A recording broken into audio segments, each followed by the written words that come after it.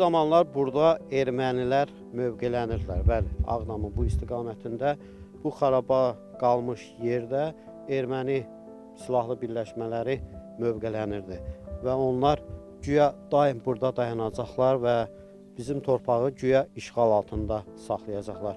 Azər oranı yaxınlaşdır.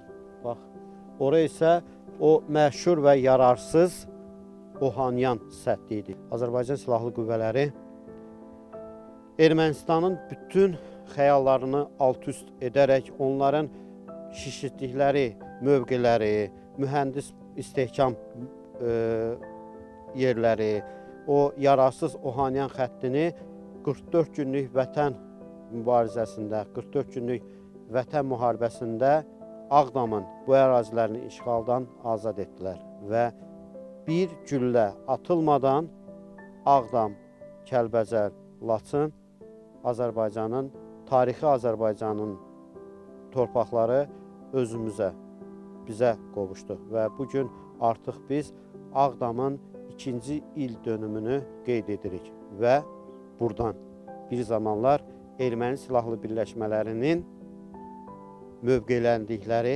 yerdən və dəmir yumruq Azərbaycanın müzəffər ali baş komandanın göstərişinə əsasən, əsasən digər torpaqlarımız kimi Ağdam rayonu da işğaldan azad olundu.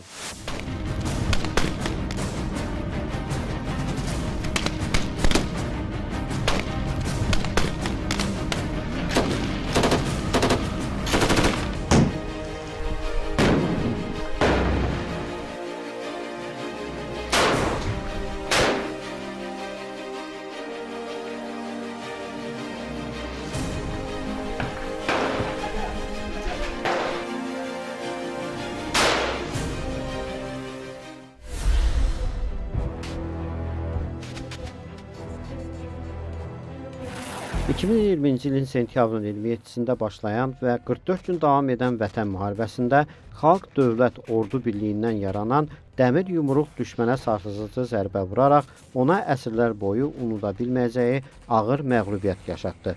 Müharibə dövründə döyüş meydanında ağır zərbələr alan Ermənistan silahlı qüvvələri humanizm prinsiplərini bir daha tapdayaraq çirkin addımlara əl atsa da xalqımızın qələbə əzmi ordumuzun rəşadəti və Müzəffər Ali Baş Komandanın qətiyyəti şanlı zəfəri təmin etdi. İşğalçıların illərdir sinələrinə döyərək uydurduqları məğlub edilməz Ermənistan ordusu mifini rəşadətli və qəhrəman Azərbaycan ordusu cəmi 44 gün ərzində məhv etdi.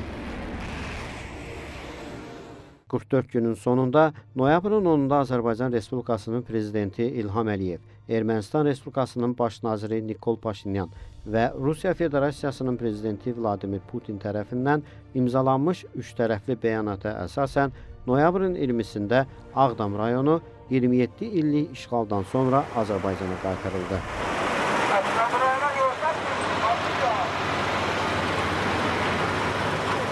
Cənab Ali Başkomanlar, Ağdam rayonu işğaldan azad olundu.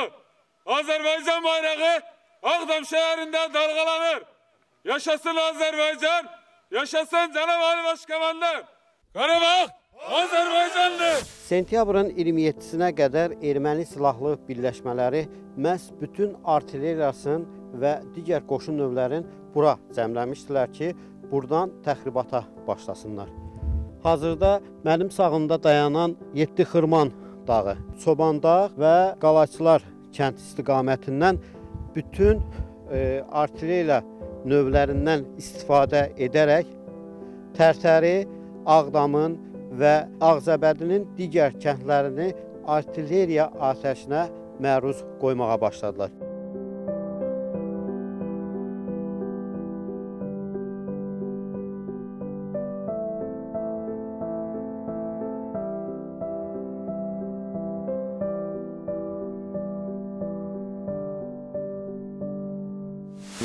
İstiqamətində döyüşlərdə olmuşam. Deməli, bizim əsas yuxarı komandanlığın qarşımıza qoyduğu tapşırıq ondan ibarətdir ki, düşmənin əsas qüvvələrini, döyüş texnikalarını, şəxsi heyətini Ağdam istiqamətdə cəmləmək, qoşunlarımızın digər istiqamətdə uğurlu əməliyyat həyata keçirmək üçün şərait yaratmaqdır.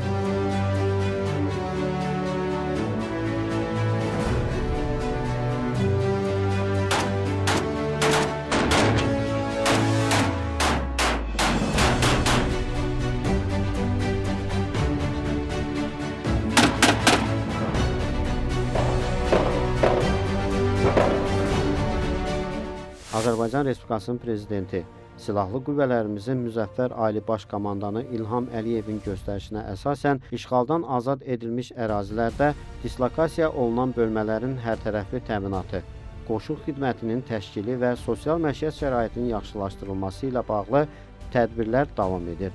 Döyüş növbətçiliyi və qoşun xidmətinin yüksək səviyyədə təşkili, eləcə də şəxsi heyətin məişət şəraitinin təminatı məqsədi ilə bu bölmə də əsaslı təmin olunub və ən müasir avadanlıqlarla təchiz edilib. Mən Həsənov Hikmət Nazımoğlu Ağdam rayonunda döyüşlərdə iştirak eləmişəm. Bir rabitəçi kimi həm də əlimizdən gələn dəstəyi göstərmişik istər yaralılarımıza, istər döyüşçülərimizə, istər komandirlərimizə. Bizim əsas məqsədimiz düşmən qoşunlarını aldadıcı manevrlar edib düşmən qoşunları buradan girməyimizi görsün. Amma e, bizim o bir qoşunlara girməsindən şərait yaratmışıq. Onlar bütün qoşunlarını bizim qarşımıza cəmləşdirmişdi. Eyni zamanda döyüş vaxtı da elə bildilər ki, biz buradan gələcəyik. Ağdamdan gözləyirdilər. Ona görə də elə Ağdamdan bütün qoşunlarımızı hazırla qoşunları hazırladılar. E, o düşməni inandırdılar ki, bizim bütün qoşunlar buradan gir girməlidir. Rabitəçi kimi e, öz mövqelərimizi məlumatlandırmışıq. Düşmən e, düşmənin gəldiyin, düşmənin həmlələrin, e, təbii ki, yuxarı komandanlıqdan aldığımız məlumatları e, öz e, komandirlərimizə, öz rabitəçilərimizə çatdırmışıq. Ondan sonra e, məlumatları e, dəqiqləşdirib e, həmin e, məlumatları təkrar komandirlərimizə ötürmüşük.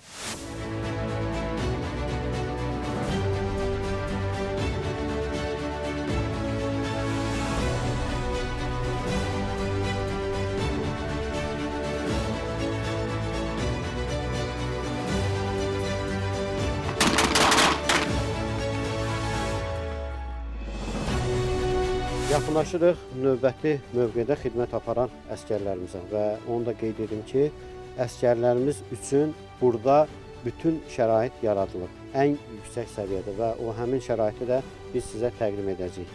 Əvvəlcə əskərimizlə tanışılaq. Salam əskər. Salam. Necə gedirsən? Xidmətin necə gedir? Özün necə hiss edirsən? Ümumiyyətlə azad olunmuş ərazidə yəqin ki, xidmət etmək həm şərəfdir, həm qürurdur, həm də məsuliyyətdir. Çox gözəldir. İşğaldan azad olunmuş torpaqlarda xidmət eləmək. Hər şey öz qaydasında da çox şükür. Adın nədir? Adım Şah Məmmədov Məmməd.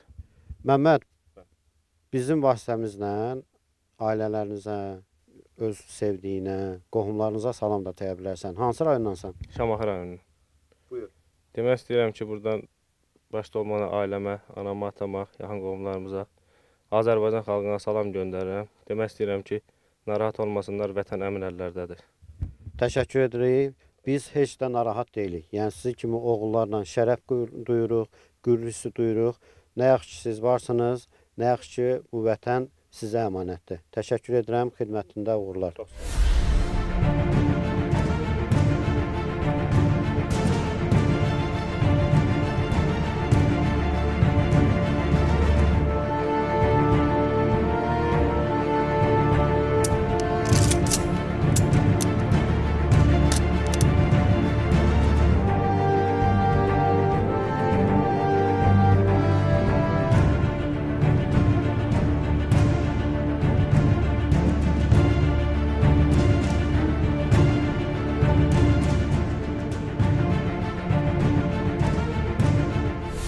Bura isə əskər yataqxanasıdır və onlar üçün yenə də qeyd edirəm və bunu dəfələrlə qeyd edirəm və yorulmuram ki, onların e, xidmətləri üçün ən yüksək şərait yaradılıb və əskər yataqxanası son model mebel dəstələri ilə təmin olunub və buradakı əskərlərimizin asudə vaxtının e, səmərəli keçirilməsi üçün onların e, mütaliə etməsi üçün, stol-stol oyunlardan istifadə etmələri üçün, ölkədə baş verən hadisələri izləmək üçün radiodan da istifadə edirlər və burada gördüyünüz kimi odun peçindən istifadə olunur. Əgər hava soyuq olarsa, bunlar avtomatik işə salınır və əsgərlərimizin yataq yerləri, xidmətdən sonra istirahət edəcək yerləri isti olsun ki, onlar həm xidmətini e, rahat aparsınlar, həm də ki mövqelərə e, rahat çıxsınlar və xidmətlərini davam etsinlər.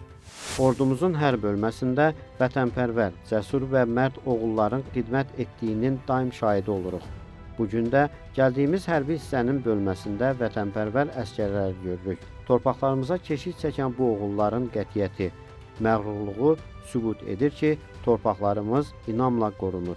Əlbəttə ki, Müdafiə Nazirliyinin e, icazəsi ilə biz e, əsgərlərimizin yanına gəldik, onlarla e, xidmət şəraiti ilə sizi tanış elədik və ümumiyyətlə e, əsgərlərin necə xidmət etmələrini, onlar üçün yaradan şərait, əsgərlərin xidmətə hazırlanmasını biz e, yoldaş Gizirdən soruşacağıq. Zəhmət olmasa özünüz təqdim edin. Mən Gizir Cəfərov Emir Rəhmanoğlu. Yoldaş Gizir, ümumiyyətlə əsgərlər xidmətlərə necə hazırlanır? Əsgərlər ən birinci təhlükəsizlik qaydaları çatdırılaraq düşmənlə və ərazidə tanış olunur və döyüş növbəsinə cəlb olunur. Döyüş növbəsinə cəlb olunan növbənin təlimatı verilir. Əlavə olaraq düşmən 20-24 saatı fasiləsiz daima müşahidə altında saxlanılır. Əsgərlərin xidməti şəraiti ilə tanış olduq və mükəmməl şəkildədir. Doğrudan da hörmətli tamaşaçılar, siz özünüz də şahid oldunuz. İdeal e, şərait yaradılıb.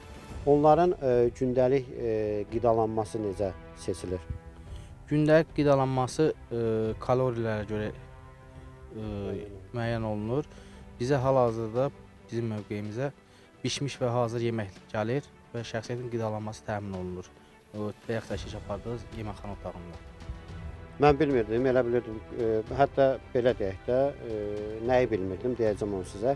Əskərlərimiz üçün bütün mövqelərdə quru ərzaq payı təmin olunur. Və onu bilmirdim ki, həqiqətən bu mövqeyə hazır, isti yeməklər gəlir və əskərlərimiz gündə 3 dəfə həmin isti yeməklərlə qidalanırlar. Yoldaş Gizir, təşəkkür edirik, xidmətinizdə uğurlar arzulayırıq. E, bir gizir olaraq sizdə bizim borcumuzdur ki, evdə yəqin e, valideynlər, qohum-əqrəbiyə salam çatdırmaq istərdiniz. Bütün Azərbaycan xalqına, ən başda şəhid ailələrinə salam göndərirəm. Sevz ailəmiz qarşılayıb bütün valideynlər Allah canı sağ eləsin. Əllərindən öpürəm. Təşəkkür edirəm, çox sağ olun, minnətdarım.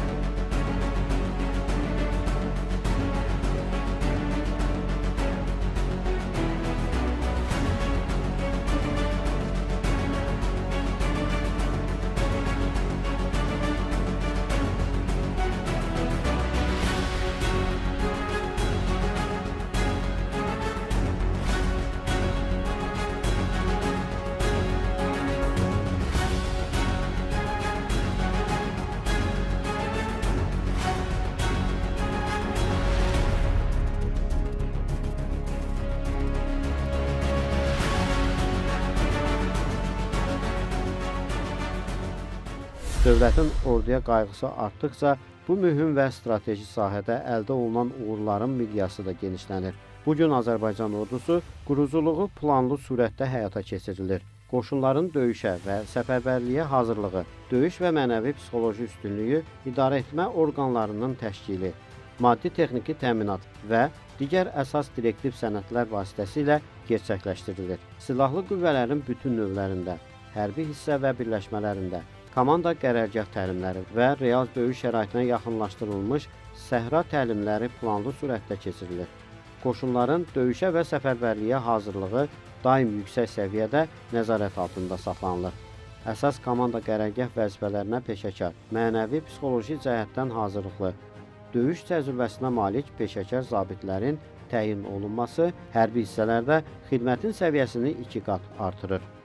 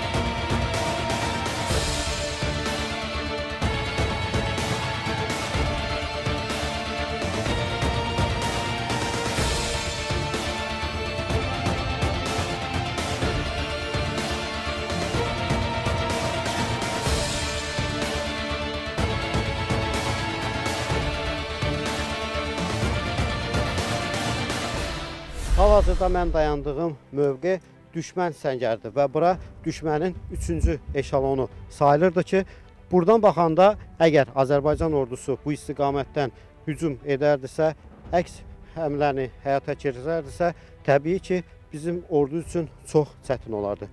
Çünki burada mövqelər bütün ərazini müşahidə altında saxlayır.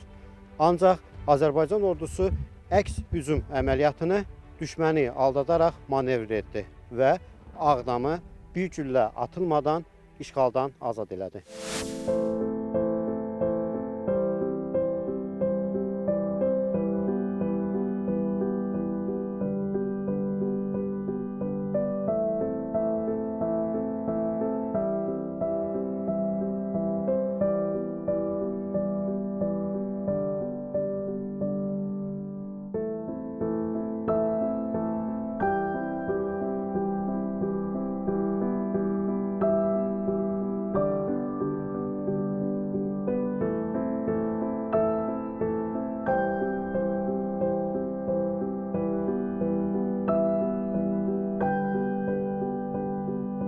Dayandığımız nöqtə bir vaxtlar Ağdamın kəndi olan Xıdırlıdır.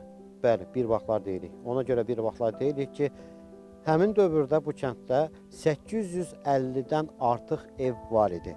Ancaq işğal dönəmində burada cəmi 350 ev qala ya qalmaya. Azər zəhmət olmasa sağ tərəfimi göstərəsən, ermənilər buradakı bütün kəndlərin hamısını, kənddə yerləşən evləri sökərək əkin sahələri edirlər və təbii ki, bu da vandanlığın bir nümunəsidir.